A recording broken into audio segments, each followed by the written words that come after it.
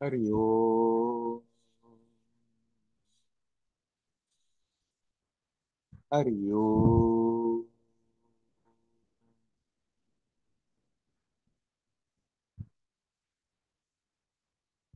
Hari Om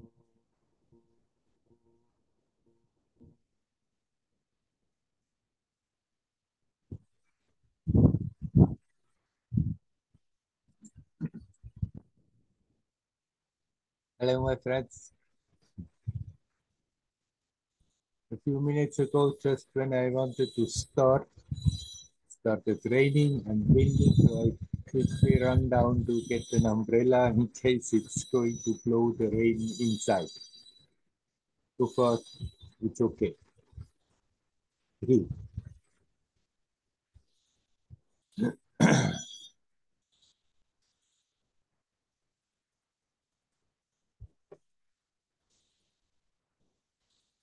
Of the spiritual path, all kinds of experiences may happen. And they may be very different from one to another.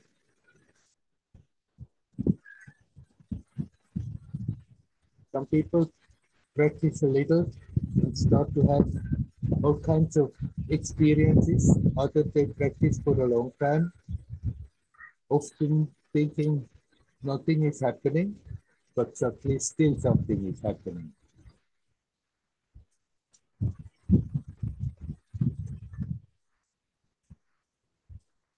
And each story is unique. We can get inspiration from others who have gone their way sincerely. We can borrow a bit with that inspiration from their sincerity. But their story is their story, your story is your story, my story is my story. they just simply differ.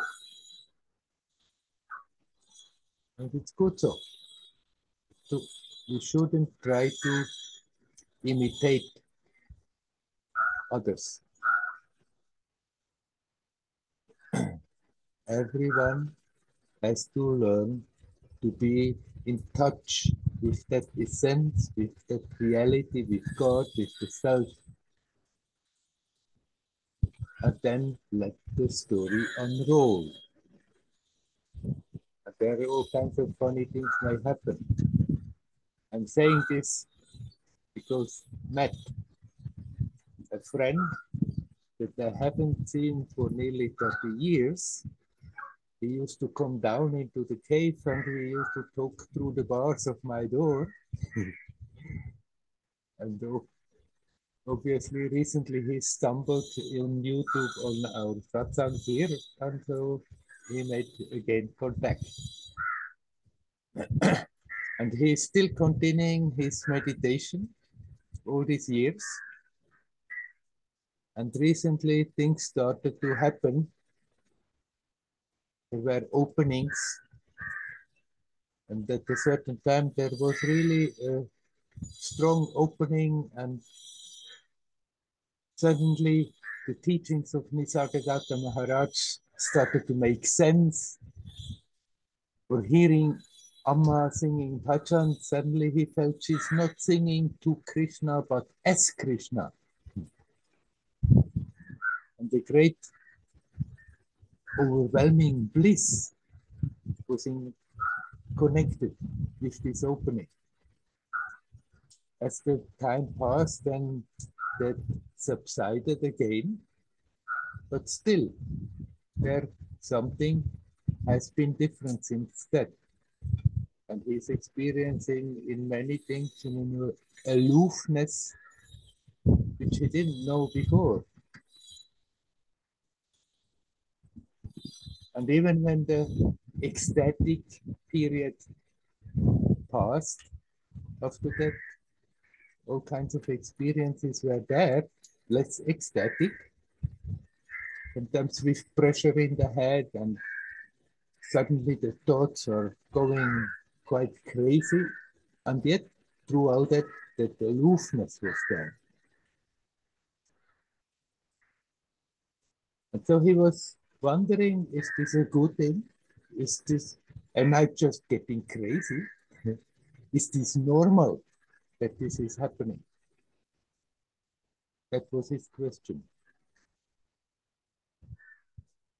And I have to tell you, Matt, there is nothing you can say that is normal. Or you can say it's normal that things start to happen in a way that we did not anticipate. That may shatter sometimes a bit our world view, our perception, how we are perceiving the world. but then how this is manifesting the experiences, they are changing, they are different from one to another. Sometimes there are just, it's an experience, it comes, it's there for a moment, it goes. Sometimes an experience comes and stays and is there for a period and gradually subsides. Or sometimes there is an experience, there is an opening, and it simply stays and it's there. But then somehow we have to learn to integrate it in our day to day experience, in our day to day life. And what was quite amazing and unusual after some time is the new norm, personal norm. And so it goes. Sometimes uh, when things are a bit fun, one may wonder, am I just getting crazy? It happened to Matt and he was wondering whether he should reduce or withdraw for some time from the meditation practice. But then he has a picture of Ramana Maharshi standing on his table, and he felt when looking at that picture very strong the message, no, no, continue. And that was a good message. By all means, Matt, continue. what is the difference between a person who is getting crazy and a mystic who starts to experience things that are not in the usual mainstream norm of the human experience. Both the crazy people and the mystics may experience things that the other people don't experience. And what's the difference? The difference is very simple. If one gets unbalanced and crazy, and more unbalanced, more crazy, it's like a whirlpool and experiences that one is on the periphery of that and is just being turned around helplessly as a victim, desperately trying to make sense of what is happening, and then usually desperately trying to other people to explain their situation, which usually usually just leads to more craziness because the other people don't believe or they start to say the fellow is crazy. And there's a lot of suffering restlessness, trying to make sense, trying to have, so, have something stable, trying to have something real. What is real? What is not real? Is it all just nonsense, crazy nonsense that I'm experiencing? And so a crazy person usually suffers from that. but is not rooted, not centered. And we have to somehow find the way that if this is happening, to come to the center of that whirlpool. And we are getting there by learning to be in the present, learning to connect with that which is not changing. learning to get rooted in that. That is the difference between the crazy person and the mystic. The mystic is rooted in something totally stable. No matter how strange things are going on, whatever is happening around them,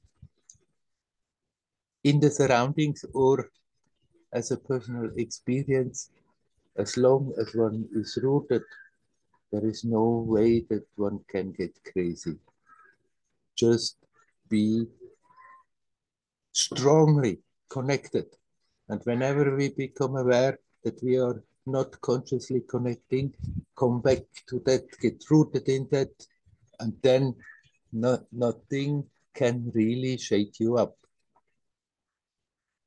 We don't have to somehow desperately try to keep our experience in the stream of the human norm.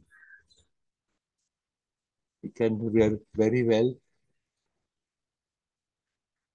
have things that would be considered totally crazy. We can very well change our opinions, our standpoint totally. That would be considered crazy as long as you are rooted in this timelessness of the now. As long as, even if you are not firmly rooted, but as long as you are always coming back to that and learn to relax in that and learn to have faith in that and learn to have that strength that comes out of it, then one is not in danger of getting crazy.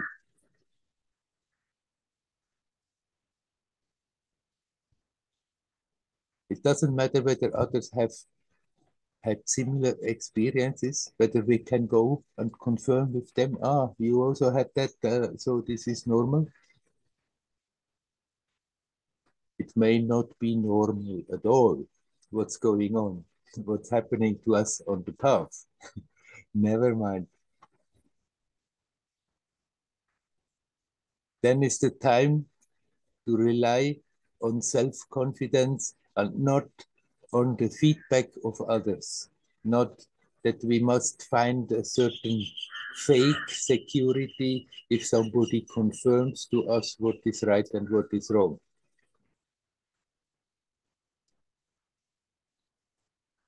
When you consciously connect and learn to be in touch with that and learn to relax in it, then there comes a great strength with it. And it's good to understand this is good. I can rely on that. I can even increase that strength, open up that I'm becoming stronger and stronger. And then may co come anything, whatever. Even if it's sometimes going through rough waters on the surface, there is always that awareness deep down, there is something that is not affected by it. Deep down, there is something that cannot be shaken up. However, the image of the world is being shaken up, sometimes comes crashing down, there is something that is simply without acting on it, but simply naturally witnessing the whole story, being aware of it, but being not affected by it.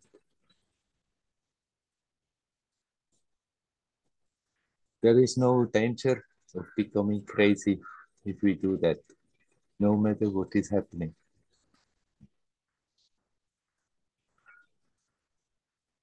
After all, when we start out looking for truth, seeking, trying to find God, trying to get enlightened, trying to get self realized, there is always that longing to go beyond the usual human experience. And something is eagerly waiting for that, but then at the same time, when things start to happen in a way we do not expect, then uh, that fear can be there.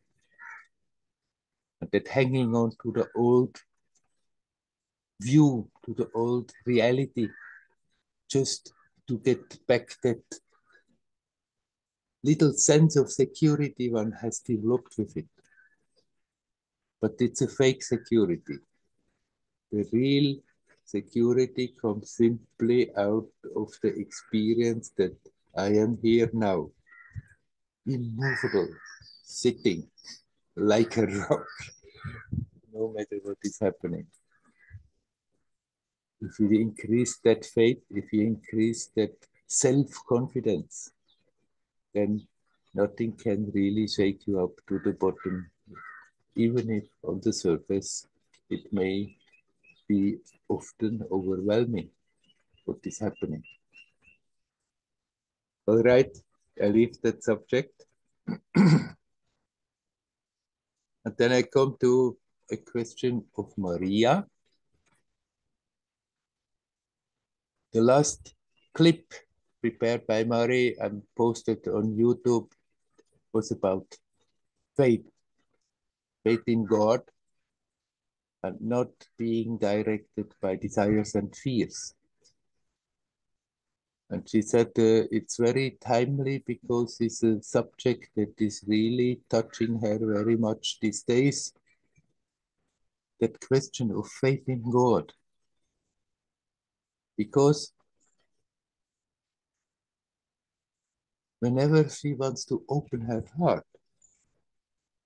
and she really connects with that faith, then also a fear comes. A fear of God.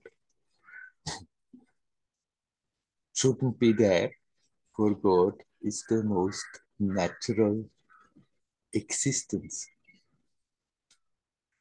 But of course, as she herself then says, it is certainly very much influenced by her Catholic upbringing. And the picture of God that is transmitted there is rather there is a God there, always watching very carefully whether we're behaving or not. And as soon as we are not behaving, ready to punish. of course, if that uh, is the mood one has with God, then uh, fear will come.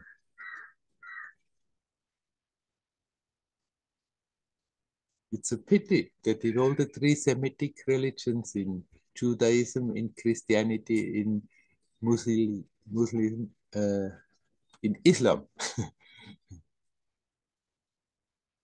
that fear of God is very much kindled in people.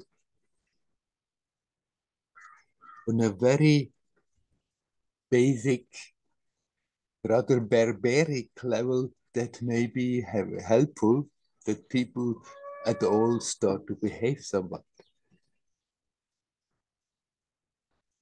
But God is our true essence. You are that divine yourself. You may not be God ruling the creation, but your essence is that same divinity. And so we should not have fear of God. But the most innocent, open heart for that, feeling attracted. Why? Because it is our true nature. But anyhow, we have been brought up the way we have been brought up, and certain hang-ups are there, and certain conditionings are there. And if we are aware of that, then it's good to see them, and it's good to understand we need not keep them. We need not keep like when we want to have faith, the fear that comes along with it. We can see that see how it is manifesting, see what it's doing to our experience, and learn to relax and learn to let it go.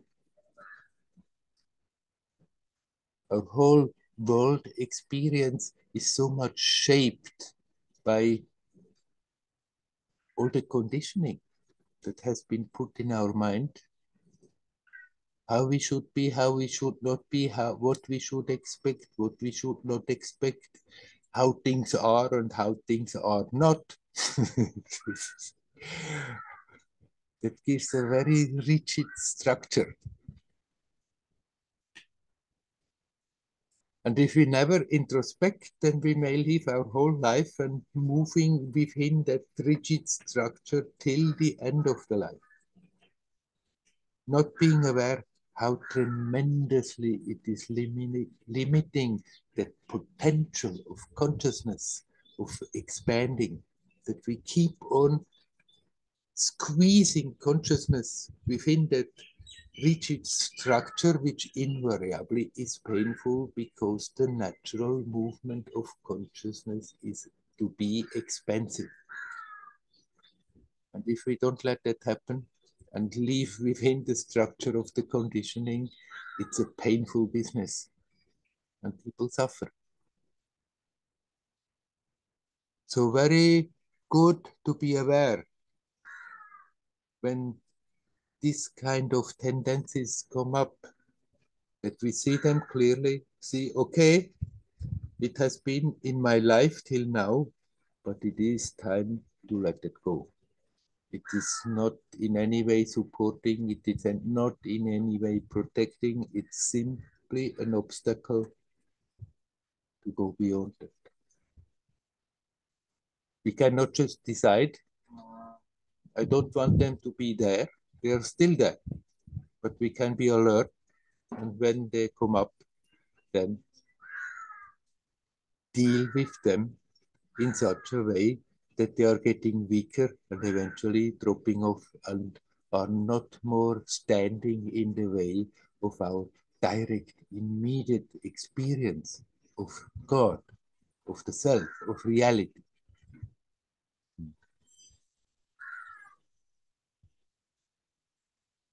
Okay, I leave also this subject, but then I come up to a subject Mariam has mentioned. He said, well, how do we know or who is a right guru or not the right guru? And is it necessary to have one guru? Can one have different gurus?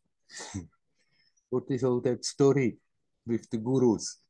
it depends also what one means with the word guru.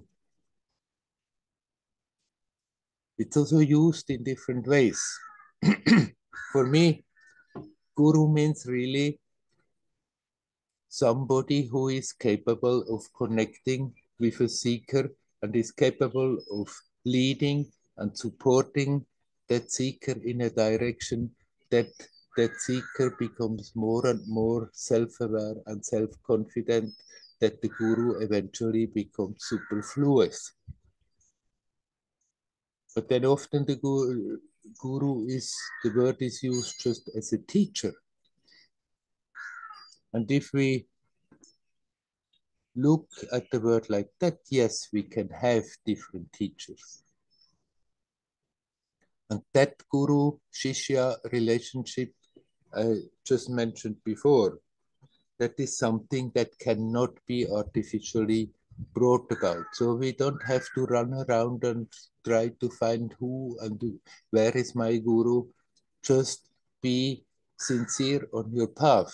And there you can have different teachers. And if there is a confusion of the teachings, that one teacher says one thing, another teacher says the other thing, then one has to learn to really listen to oneself, to one's res resonance with it. And if there is something that vibrates along with a certain teaching and one feels, yes, it's good. For me, now at least, then that teaching is helpful. And we can, like that, also learn to be more confident in self-confident. Have confidence in our own experience. How can we know who is a real guru or, or a charlatan? In order to know for sure, one would have to be in the same state like that guru.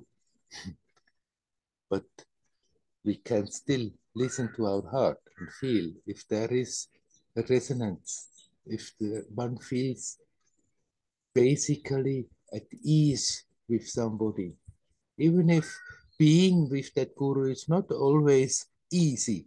and it's not simply uh, floating on pink clouds, but if there is in the heart an ease with a guru, then one can have the faith this is maybe not absolute, maybe not ultimate, but for me, here now, this is the right direction, this is the right teaching. And if it has to happen that the real Guru Shishya relationship is being established, then actually it's initiated rather from the side of the Guru. But one can learn. Again, here, people are different. Some people just need somebody to hold on to, and they will find their teacher and stay with their teacher, and that teacher becomes their guru.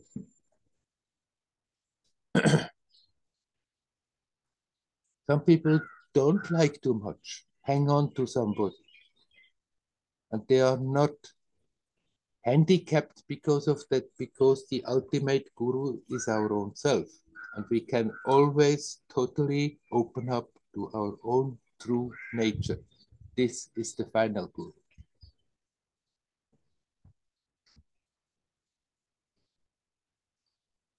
And then on the way, things will be arranged.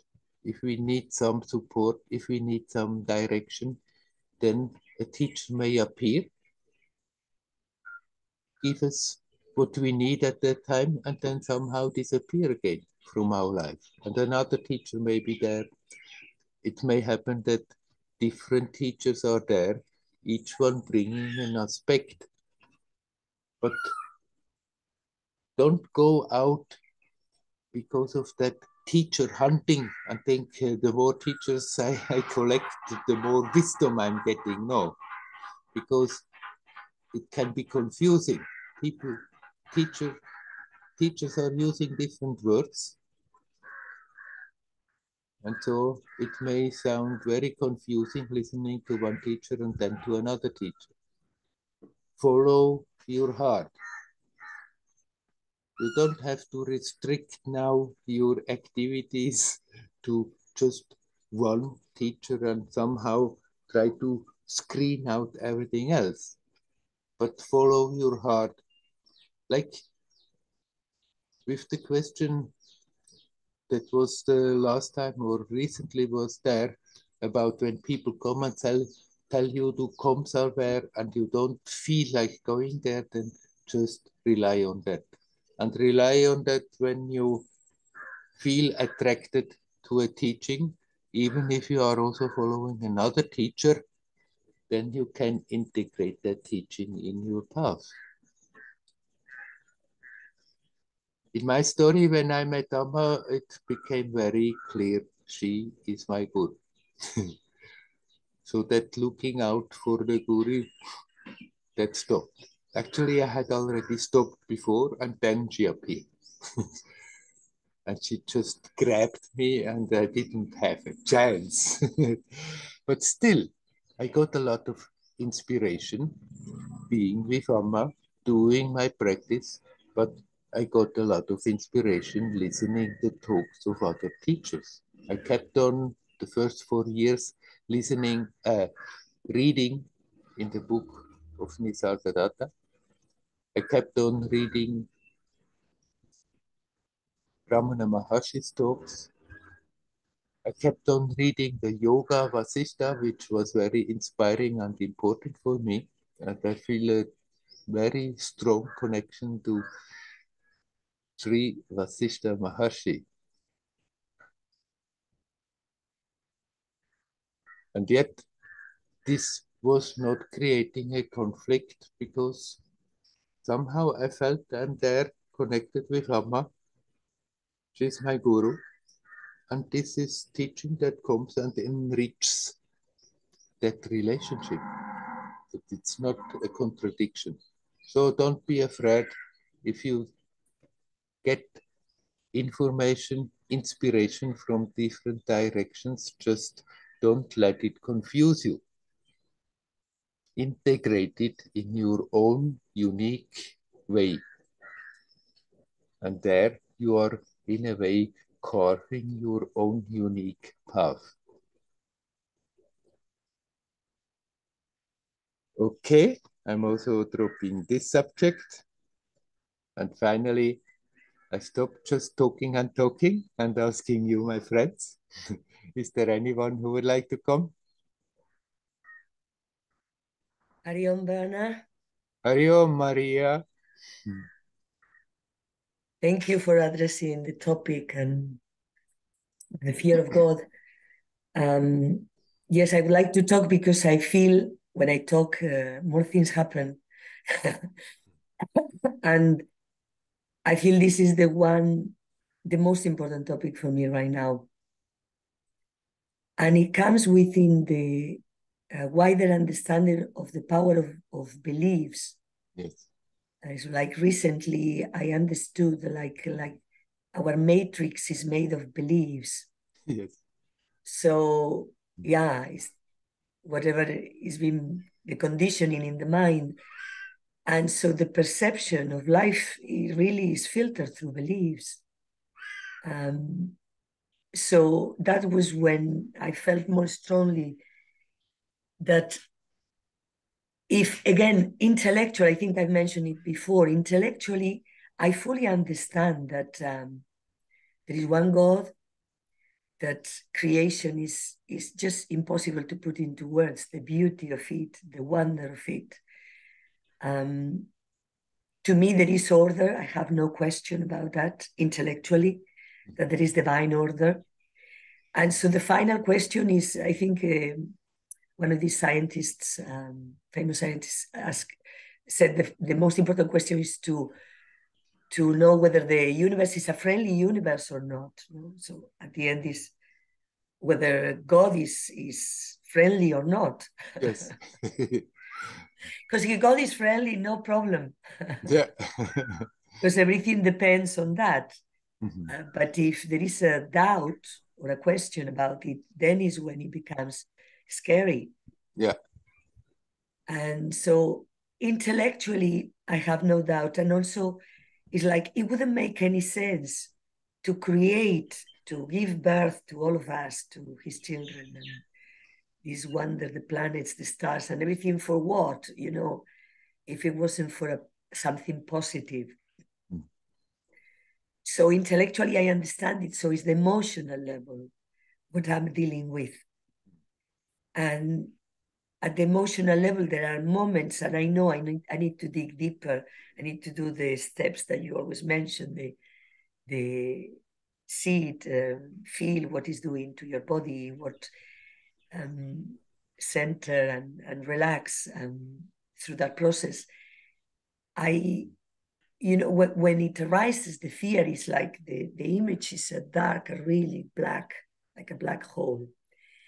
And the memory I have, the most scary memory I have is hearing uh, in my family the God punishes without a stone or a stick. Mhm. So the punishment will come and you won't see it, you know, it's not visible, Yeah, yeah. but you will feel it. yes. So, and the other thing is that there is like a, a vacuum of hearing that God is love, Yeah. you know, which is something that I started hearing when I started practicing meditation and reading about Hinduism. And it was like, wow, you know, I can't remember that in my childhood. And it's so many years of, of training, yeah. of religious training, because I went through my entire schooling, university included, Yeah. in a Catholic environment. So that image of God as a punishment that, that has that side is basically power, control, and if you don't behave well, punishment. Is um, and as I'm saying it, I'm feeling the heat, you know. yeah. uh, which I feel is, is a good heat, is is healing. Mm-hmm. Um, yeah, I feel is what I'm my work is the dismantling that that image of God as uh, punishing. Yeah. Yeah. Right. So if you could comment on that, it would be great. Yes, that basically the same what I said right in the beginning. You don't need to keep up these beliefs any longer.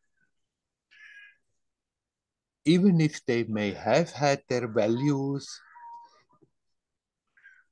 even they could be they could be used as instrument for education to keep children and after that grown-ups in line how they behave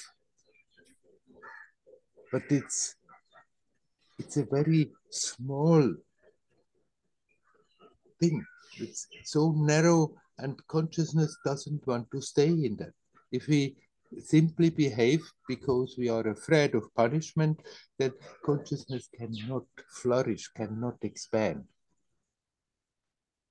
And of course there when god is pictured like this although they say don't make an image of god then this is very much an image that has been created, like the friendly old man who can get very angry and will punish you. so the, all these human weaknesses, they are projected into God. Yes. Right. And we can really seriously, when we see them, let go of them. God is not uh, some kind of a more informed human but behaving with all these human qualities qualities. God is the essence. God is that energy that makes everything possible. You can call it the, the essence you can call it the self you can call it god. God is that which makes you capable of hearing thinking feeling smelling tasting to have any experience without that essence, absolutely nothing could manifest. It is that living quality that is here now in every moment and that has not human qualities like this, like uh, uh, rewarding and punishing and uh, having favorites for behaving properly and kicking the others out for not behaving properly these are all human imaginations and then very much enforced by the institutions like the church because it comes in very handy as a power tool. Then uh, if you can get people scared and tell them uh, either you behave how we say and you will be saved and go to heaven or you go to hell and you shall be punished then uh, that gives a lot of power to the church and the, and the politics. Yes, yes, yes. Yes. And we can we can really drop that, drop all that stuff, and just when the fears come, then yes, not argue intellectually with them. When the when these old habits come up from the upbringing, then see them, see what they are doing, and just let go, let go, let go, and not have a doubt. Should I maybe still keep it? Because there is some use in it. There is no more use in it. it's time to let it all go. You know, the thing I, I find very difficult also to accept, one part of myself finds very difficult, the, like the child, the scared child, is to to believe that God wants me to be happy, mm-hmm. you know, yeah. happy, and, and that there is no limit mm-hmm. to the happy yes. um, feeling. That is, I've never heard that. I mean, that's that's a you know, as a child, never ever heard about um, the permission to be happy. Yeah, yeah. That uh, simply they left out, huh? totally. right.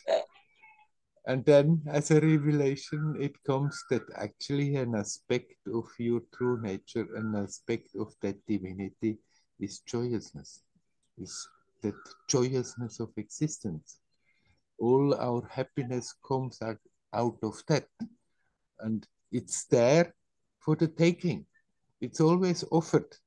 And we have so much resistance and so many conditionings that we are afraid to take it, that we don't want to take it, that we are not daring to be open, to be happy.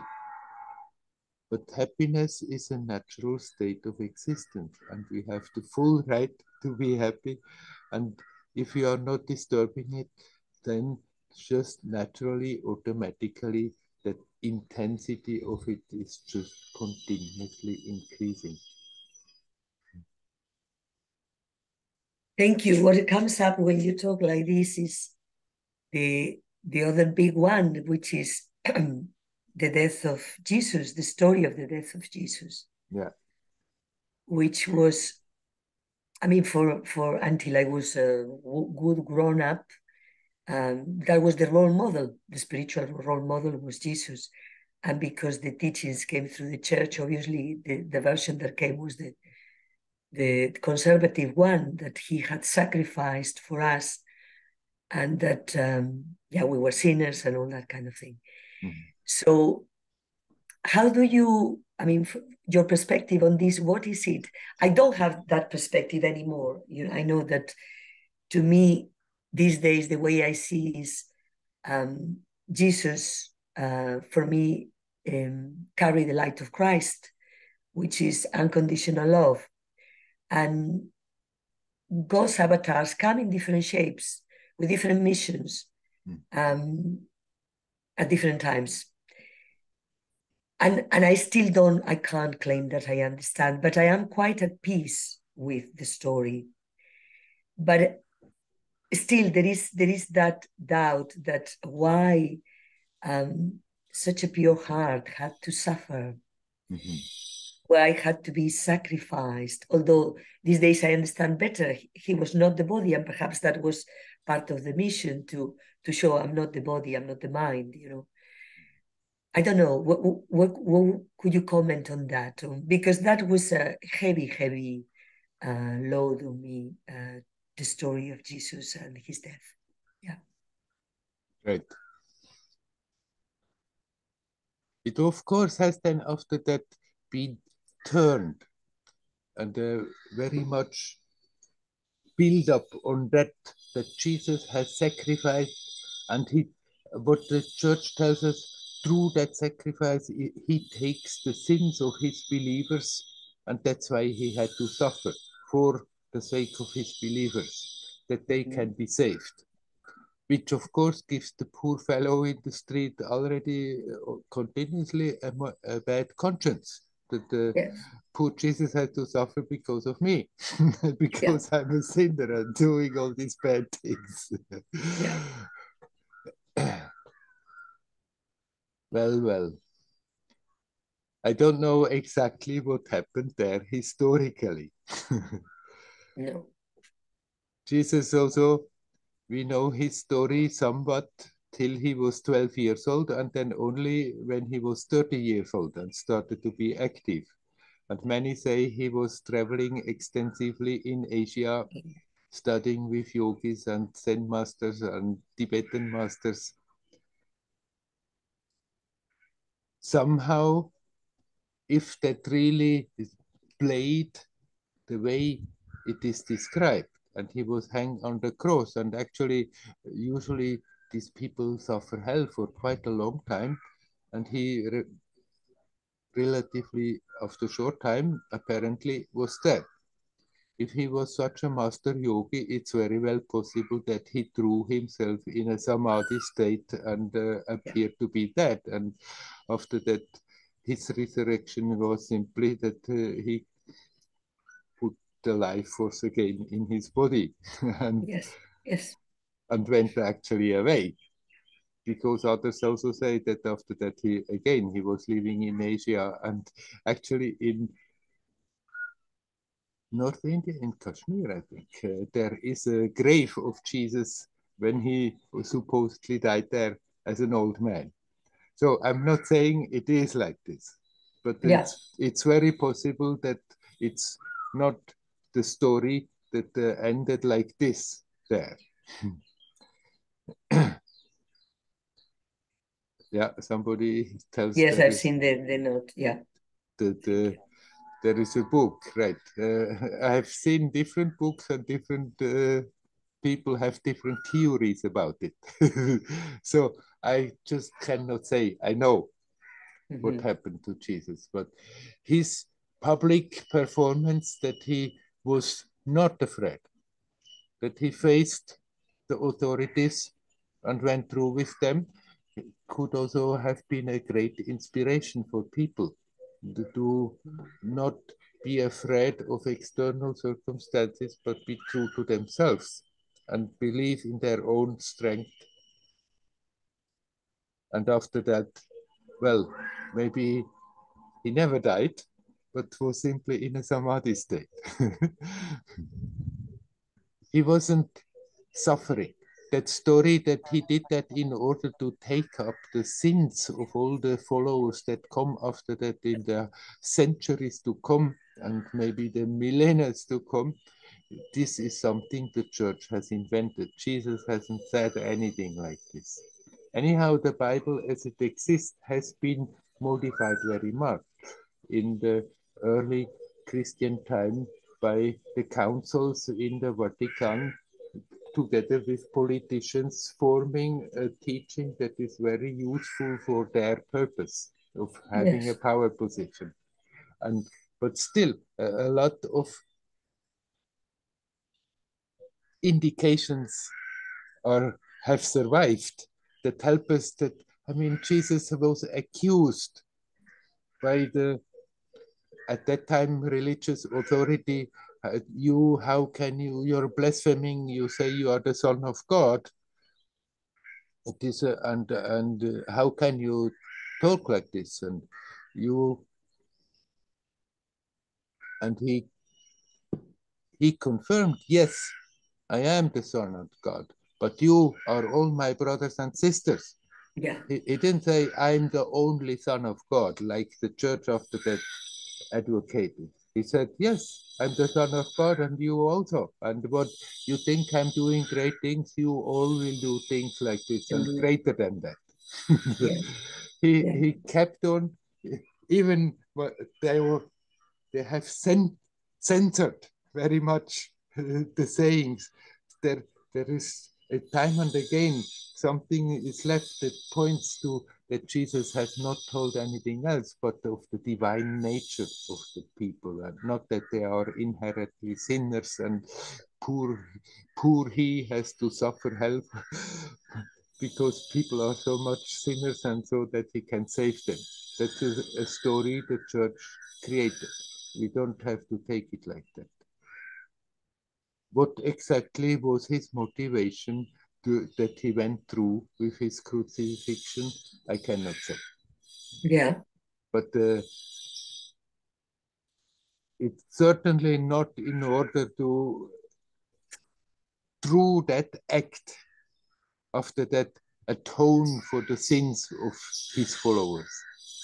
But uh, if a being like that is doing such thing it it is harnessing a lot of power on this level and that is being released and uh, people who tune into that jesus consciousness even if it's distorted with all kinds of doctrines they're benefiting from that you Mm. can also ask why would ramana maharshi after being fully established in the self he kept on sitting and sitting and sitting for years. It is his way of harnessing a tremendous power on that on this level that people who tune into that being ramana maharshi and his teachings they're getting benefited by what he has done. And i'm sure uh, something like that happened with jesus and his story Yeah. but somehow I have never really, for some time, I was very interested and read also these kind of books who, who tell alternative stories, so also that they mutually make contradictory, and then sort of lost a bit interest and rather withdrew from that. So I'm not an expert because Yeah. I didn't put my energy into it to really go deeper and deeper into that. when I think of Jesus, that there is no doubt a great being like that has walked on this earth. Mhm.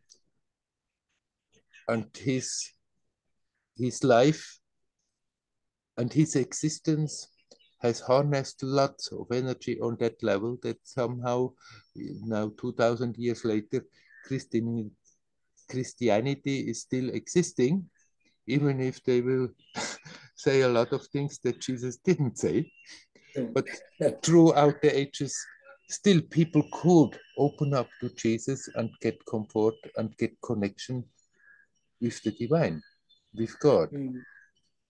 It's the same like a Hindu who, with innocent faith, opens up to Shiva, somehow deep down knowing that Shiva is an appearance, but behind that is that unexplainable divinity. And through opening to that Shiva appearance, manifestation, connecting with that pure divinity throughout the centuries, so many Christians, they could connect with God by innocently opening up to Jesus. Mm. That is certainly there. There is such a big power there. I'm sure Jesus in all this time has become more, also more powerful and is still there and helping people.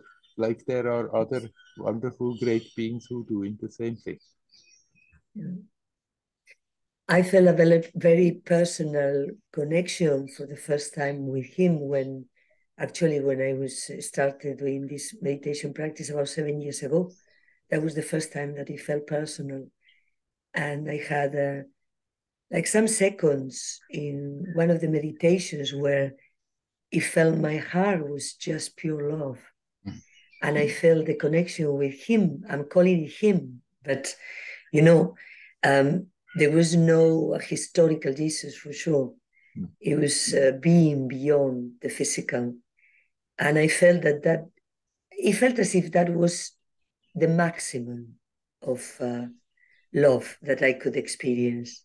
It was just seconds, but it moved me tremendously. And then the therapy started when I mean the therapy started when I met my teacher seven about seven years ago. Then is what was when I felt okay. I don't need to miss Jesus, because in my heart there was that missing, that great being, you know, that incarnation. And then when I met my teacher and I experienced unconditional love, it was like, okay, I can let go. Um, now is the present. And then, of course, my teacher, my teacher's work is all about taking me to my inner teacher, which is what you were talking about at the beginning, which is finding the source of love within myself, the divinity within myself.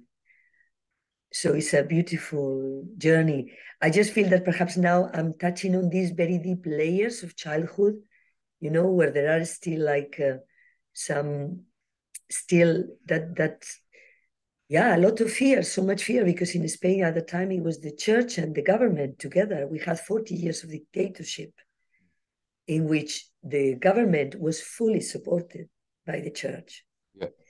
So we got control throughout, you know, at school, in in the church, and and the indoctrination was very deep and I feel that the healing for me is coming now at a very deep level. And yeah, Yeah, that's very good. When it comes up and sometimes shakes you up a bit, don't get uh, insecure because of that, but rather, okay, it's good that it comes up and it's time to let it go. It certainly leaves mark if you grow up, marks if you grow up like this. But then when you become more conscious, then you can let go those aspects that are not helpful at all and keep those that are helpful. Yes, thank you. Because the in the Bible, I do find that there is this mix. There is a mix of of uh, manipulation, but there are some great teachings coming through as well. So yes, yeah, yeah. Definitely. Thank you, thank you. Jesus' teaching was love, love, love. Yes. And then after that, they made it uh, all that sinner stuff. Yeah. And he actually says, I only, uh, some years ago, I realized he says, love one another as I have loved you, but also amarás al prójimo como a ti mismo. Um, in English, I'm not 100% sure how to translate, but it's you will love thy neighbor as you love yourself. yes. There is that, which I really, it didn't get in. yeah, yeah. so now I'm taking it in. very good, very good. Thank you, thank you so much, Anna. Hari Om. Hari Om, Hari Om. Hello, Nava. Hi, uh, Werner. Um, thank you, Maria, first of all, for, uh, I, I just want to continue with um, what you've been talking about. Um, because I come from the Jewish tradition, it's the same thing God punishes and God rewards. And I feel that I've left that behind. Yes. My my great difficulty is God is always in the Bible so different than us. He's supposed to be out there and totally separate from us. Mhm. And and so when you talk about the essence, I, I have a lot of difficulty. Is God out there? Is God in here? I I can't seem to um to get beyond that, and it's something I struggle with. Yes. And and perhaps again, it's just that it's been so ingrained that we pray to God out there. Right. Mm-hmm. Can, can you say something about that? Okay. Of course, that's how we have heard it all the time. And it's always like God, you're looking up Some, somewhere out there. We are not quite clear where, but somewhere out there.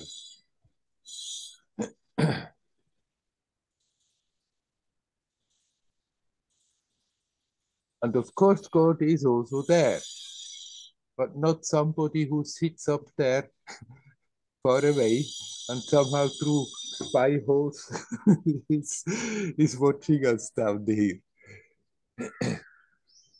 God and the creation are one. God, the creation is an expression of God. And so is everything and everybody is an expression of that same divinity.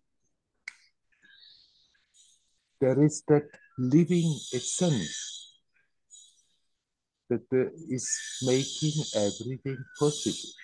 That living essence that makes a seed that we put in the ground sprout and grow up in a plant. You can say it's only nature. Nature is doing that, but what is nature? we just give a give a name to what we are observing that the plants are growing and the trees are beautiful and we call it nature. but that there is that living quality and it's that which is making everything possible in our daily life. That because of which we can breathe. That with, because of which we can think and feel. There is an Upanishad, the Kena Upanishad, who starts, what is it that makes a human being take the first breath? and then it goes goes on talking about it it's not the conscious it's not the subconscious it's beyond it's not what you are worshipping but it's that by which you are worshipping it's not what you can think of but that by which you can think of it's that which makes everything possible. So it goes on for some time, uh, repeating basically the same idea. If we just stop, and then there comes the urge to think, there comes the urge to do something, but there is that that living energy there, that conscious living energy there, who somehow moves all this. And that is not apart from God. So God is here, God is there, God is everywhere. God is not a person, but is that divinity, that inexplainable divinity that makes all this possible. And all that comes out of the first expression of God, which is pure consciousness and pure love and pure energy, which is the ground of manifestation, of creation. And all that comes out of it is an expression possible only because that divinity is there. As soon as you take away, it's gone, nothing is there. so, uh, if you feel somehow limited because of the indoctrination that God is out there, then see that feeling when it comes and you feel what but God here is strange, then just watch that feeling that it creates. Watch what it is doing to you and learn to relax and not take it serious anymore. It doesn't mean it's wrong to pray to God. If that is a way that is most comfortable to connect with divinity, it's still all right. But we don't have to limit it God as being somewhere out there far away, but become fam more familiar with God, more intimate with God, and become aware, right, it's here, it's now. Without that divinity, I couldn't say a word here. This whole experience wouldn't be there. This whole scene we are experiencing now would not be there without that living support all the time.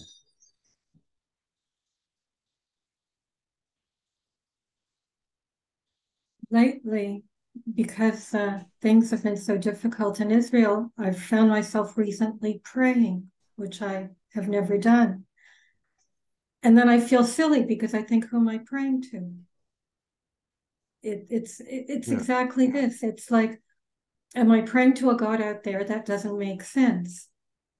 Am I praying to a God in here? That doesn't make sense. Mm-hmm. Um, doesn't need to make sense. If it's coming from the heart and you feel it is mm-hmm. right, then it is right. It need not be logical. I was in when I came to Amma, I was a staunch Advaita follower. mm-hmm. But still, I couldn't help it. I kept on screaming to God that something should happen in my life. Uh, it was there, and and it was also not something I felt I have because of my Advaitic conviction to suppress.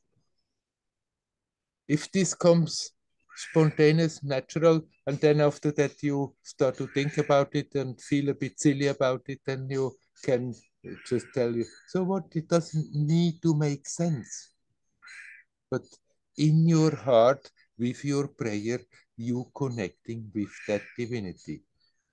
Even that divinity doesn't need any words. For you, it's helpful to connect at that moment to burst out with those words. Nothing wrong with that. It it feels like it comes from the heart. Right. But what also bothers me is I'm asking for something, and what I mostly ask for now is that the people I love be safe. Mm-hmm.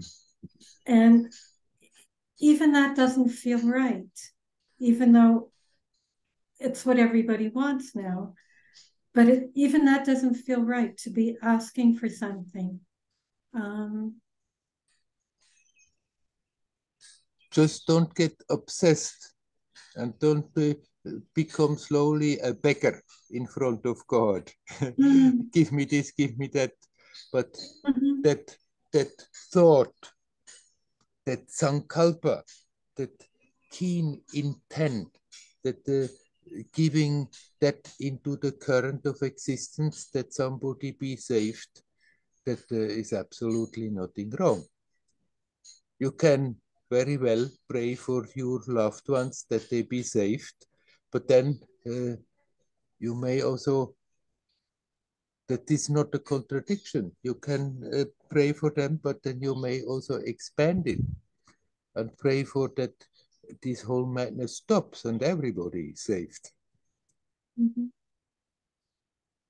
But it's nothing wrong if it spontaneously come that uh, you pray for people you know.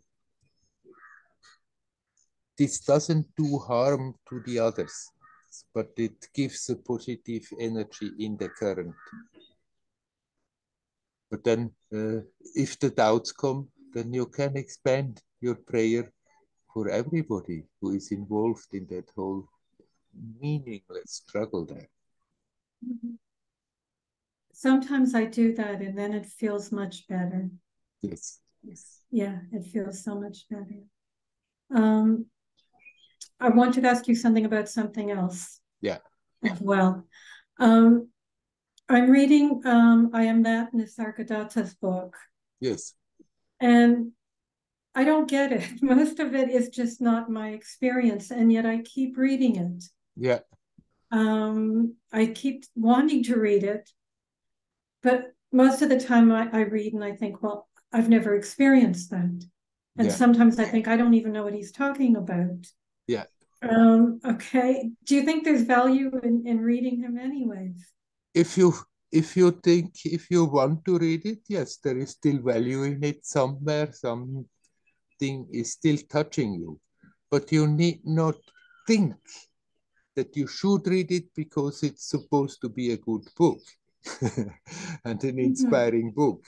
If you feel, oh no, I don't feel, but you don't have to force yourself to read it because it's supposed to be a helpful book for sadhaks. But if you feel like reading it, even if you don't get it, if you think that you don't get it, you can continue reading it and it still will do something even if on the intellectual level you think sometimes it seems to be a bit strange what this guy is talking. Mhm, Exactly. Um, no, I read it because somehow I want to. I tried reading um, books by Ramana Maharshi. I couldn't read them, yeah, and I just put them down. But Nisargadatta, I keep reading. yeah. His, but- his But language he is more about? his language is more down to earth. Huh?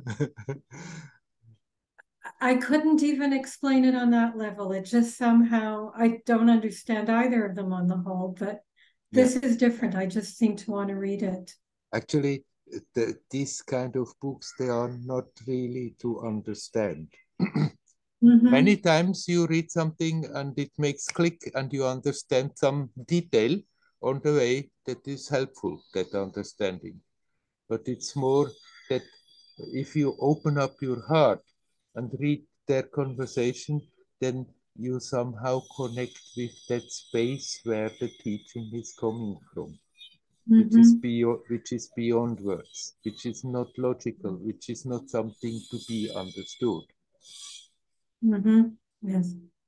Yes, so you can very well continue to read it and, and, and get benefited by it, even if you sometimes think it's strange what he talks. Mhm. Yes. Yeah, Thank you. you're welcome. Hari Om. There you go. Hari Om.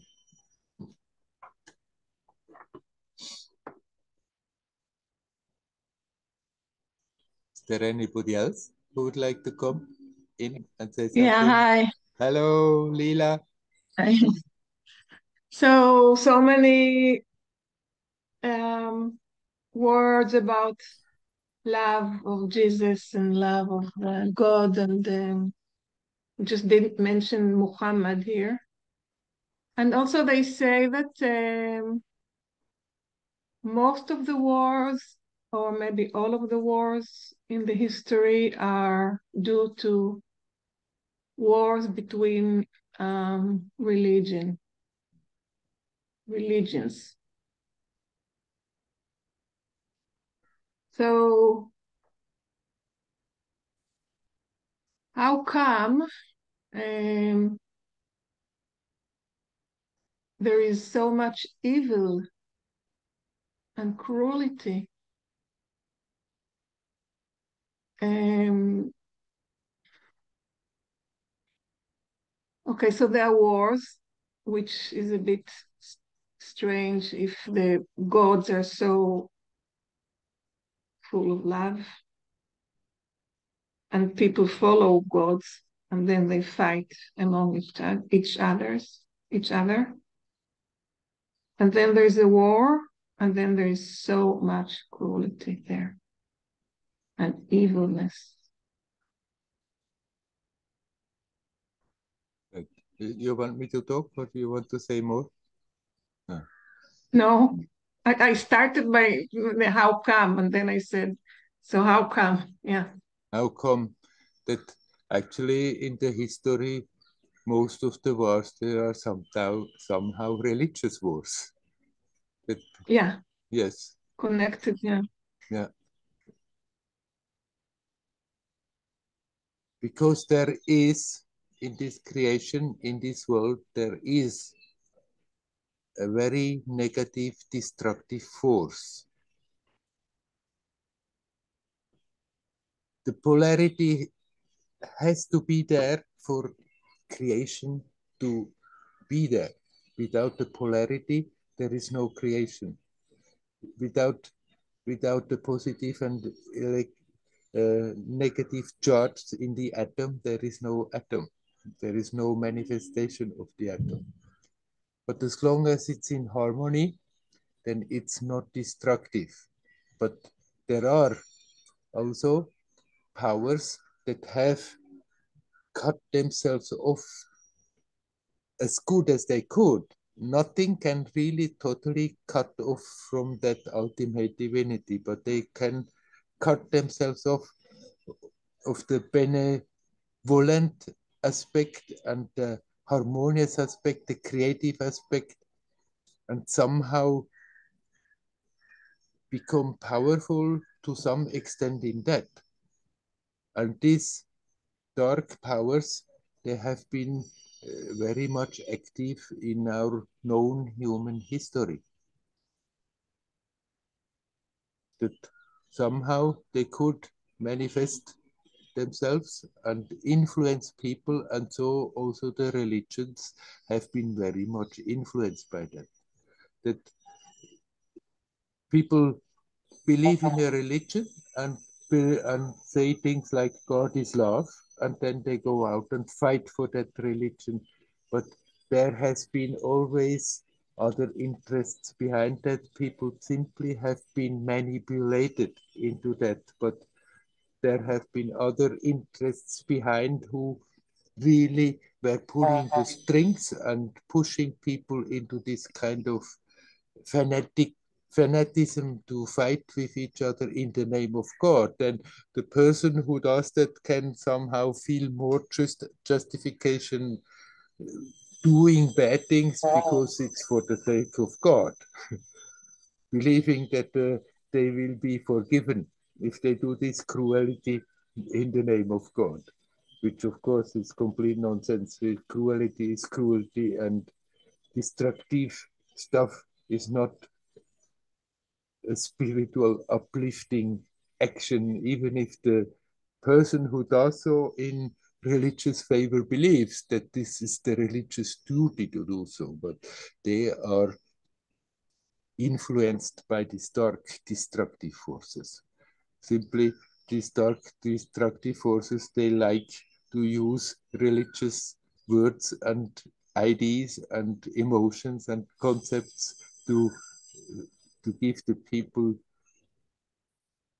the feeling that they are justified to do so, not being aware that actually in when they are in that religious destructive fervor, they are very much disconnecting from that divinity, not doing the service of that divinity. It has been very strong like this for a long time, but that area is coming to an end, I can assure you. And now, before this is ready to let go, it's manifesting even worse for some time, desperately holding on with the fingernails, trying to stay here and getting total control. Actually, the, the last years were step by step by step, and it goes on that there will be a, the attempt is there to gain a total control about all the humans so that it has not to go, but it's a lost battle for that side. It, it has to go. I just don't know how long it takes. But it's not the God, the love, the divine love, who is making people go to war for the religion. It's it's the other side who is using sometimes religious words and gets people befuddled that they start to think it's their duty in the name of religion to do atrocities. You said the other side. You meant this the, the black powers. Yes. When you said now the other side. Yes. Hmm. So it's not personal. Like it's not uh, like me, me, me, or like when the personality comes in and then sometimes it, it activates us rather than when we are less me, me, me. It's more, it's not personal, it's like a whole, um, yeah, a group of people, like it's a group of people it's uh, impersonal force but it's manifesting on the physical level uh, and on subtle levels also in beings who are totally possessed by that and they are yeah. and they are very much have been in power in this world and shaping the politics very much and are doing at the present time still but uh, everybody, uh, you said, when we slip into that me, me, I, me, mine, and it becomes like consciousness becomes contractive, then it's like we are opening at least a little bit up to that uh-huh. negative influence. And the more we can like get rid of that, which makes consciousness contracting, but helps it to be expansive, the less this kind of negative dark influence has any chance to come anywhere near or let alone to overwhelm people and and control them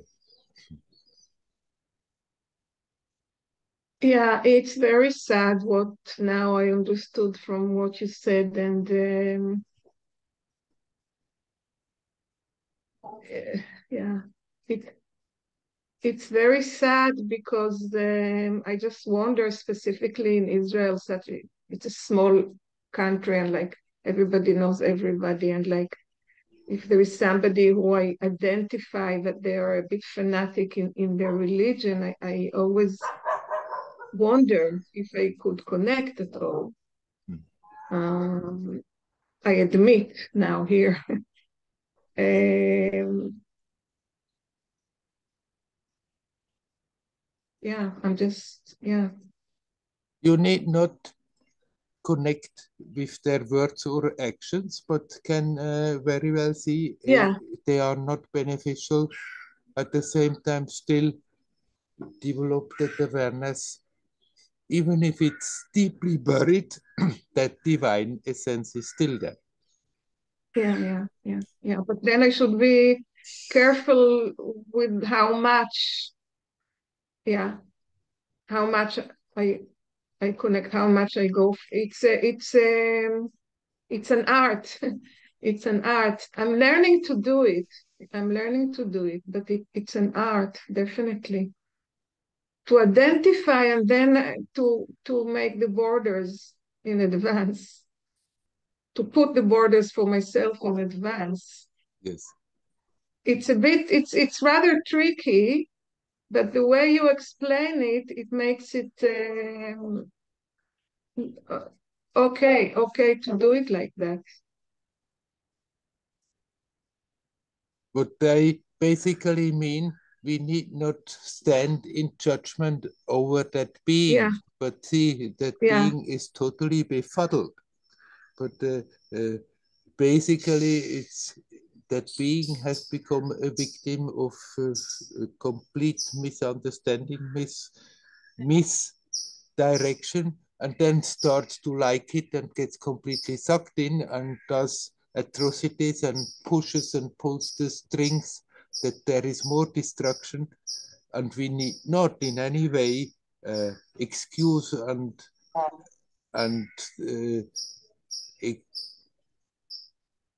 not think that those actions they are justified they are not.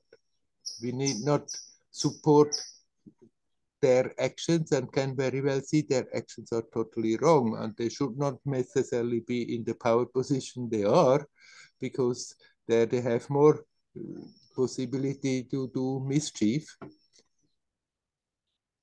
without then getting into that destructive mood of condemning the being as as an evil being because it's also hurting ourselves when we are doing it. Well, yeah. Just uh, something a bit connected, but uh, now there are things became complicated with the Hamas about uh, bringing back all the people that were kidnapped. So Israel s- went back to, to the war, and actually Israel somehow is planning to kill all all the people, kill all the people, and empty Gaza, and like I don't know the words to say it. Uh, but some of these people also don't care that some of the kidnapped people will stay in in the hands of Hamas. It's more important for them to kill all all the people and to diminish, can I say, diminish Gaza? Mhm. Yeah. T- together with the kidnapped people. Yeah. Anyway, I'm just saying that this is so com- yeah, it's just so difficult and co- so complicated that people want to kill everybody as if it's like will solve any problem. Meantime, they're neglecting what they have to do is to bring all the kidnapped people back to Israel. Um, it's not an opinion. I'm just um, sharing my pain. Yes. And Yeah, it's just sharing my totally it's totally a manifestation of that destructive force. From the beginning, the whole thing has been a total manipulation of the people of putting them into that mood now, revenge and all that.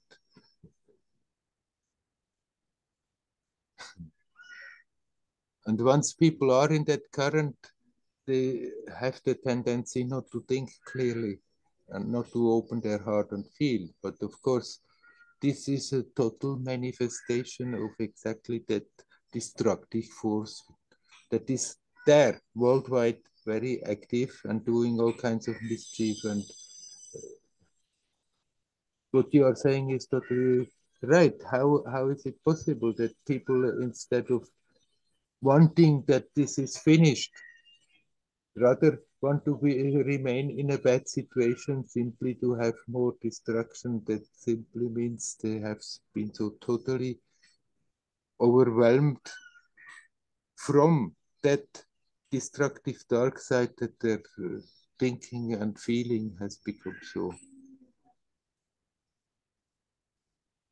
and conduct uh, conduct of it.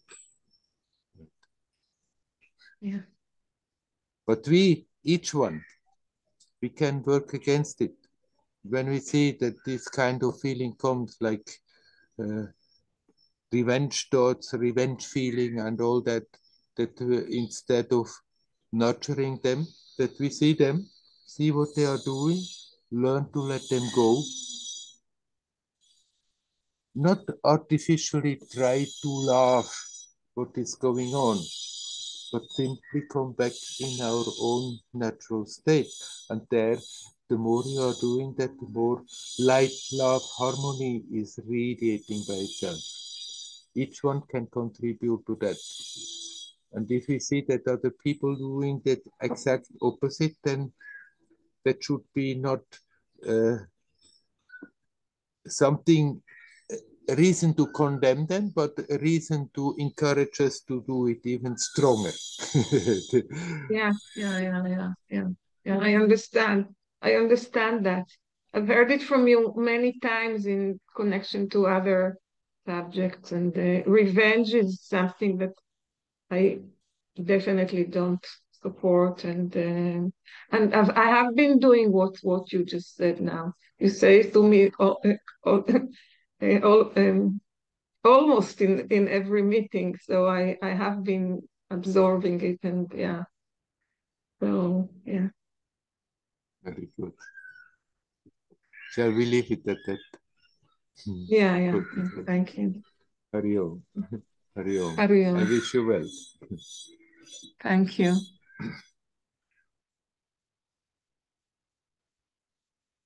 Yes, we are living in a strange time, in an intensive time. I have often just pointed to that.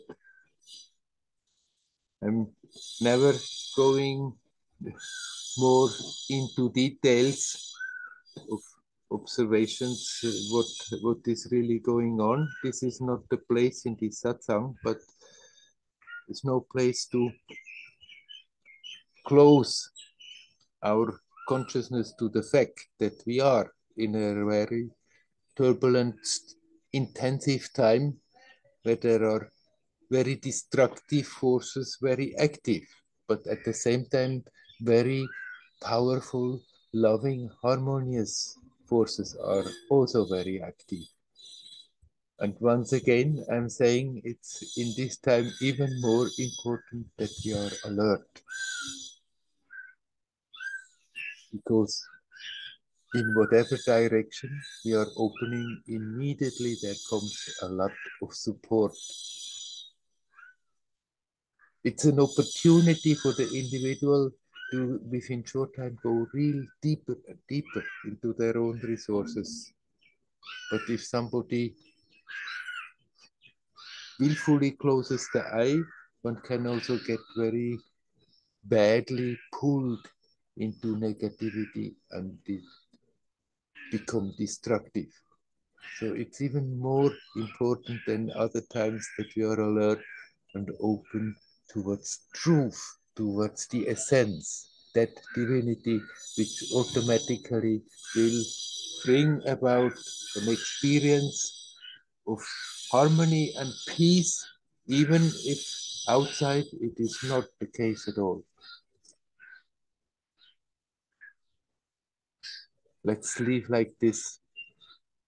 Let's make use as an individual of this intensity, of this opportunity. And incidentally, that's by far the best we can do for the rest of the world. I wish you all well. Hari Om. Hari.